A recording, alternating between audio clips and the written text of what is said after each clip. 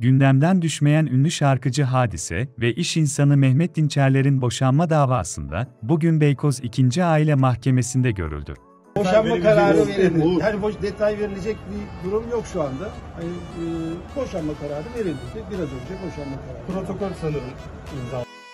Geçtiğimiz Mayıs ayında evlenen ünlü çift, 5 aylık evliliklerinin ardından tek celsede boşandı.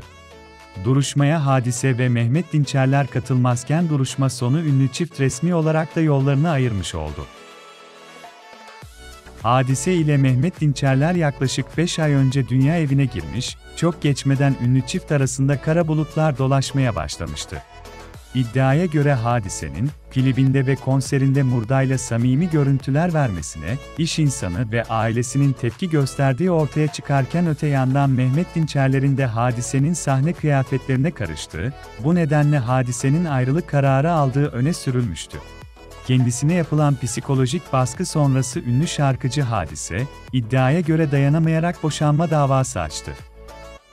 Avukatı Hakan Öncel aracılığıyla harekete geçen ünlü şarkıcı, 30 Nisan'da evlendiği iş insanı Mehmet Dinçerler'le yolunu ayırmak için Beykoz 2. Aile Mahkemesi'ne başvurdu. Mehmet Dinçerler'in anlaşmalı boşanma davasına yanaşmadığı ve takı konusunda kriz çıkardığı öğrenirken bunun üzerine hadisenin, evlilik birliğinin sarsılması nedeniyle boşanma davası açtığı belirlendi. Duruşmaya ünlü şarkıcı ve iş insanı katılmadı, taraf avukatları ise mahkeme salonunda hazır bulundu. Olarak boşanma sona ermiştir. Herhangi bir çekişme yoktur. E, Dolayısıyla bu üzerine söylenecek çok da fazla bir söz bulunmaz. Teşekkür Bir basın yasağı yoksa bir detayları merak ediyoruz. Bu mevcut. mevcut. Evet. Çünkü çok fazla detay vardı Evet, konuşulan, takılar konuşuldu, iddialar var. e. Duruşma sonu mahkeme ünlü çiftin tek celsede boşanmasına hükmetti. 5 aylık evlilik 5 dakikada bitti. Hadise ile Mehmet Dinçerler tek celsede boşandı. Hadisenin avukatı Hakan Öncel ise açıklamasında davanın tek celsede sonuçlandığını belirterek, müvekkilim hadise tarafından açılan davada bir an önce boşanma kararı verildi. İki taraf için de hayırlı olsun.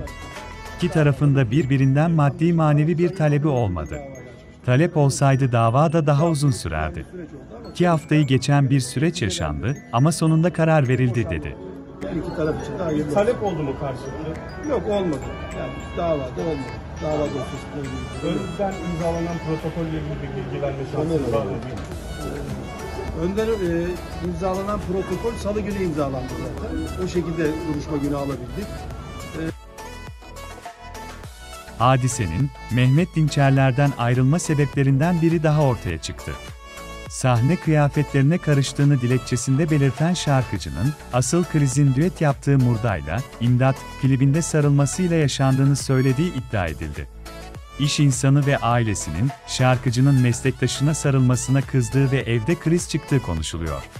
Ailenin, hadiseye, nasıl sarılırsın? Evlisin sözleriyle baskı yaptığı öğrenildi.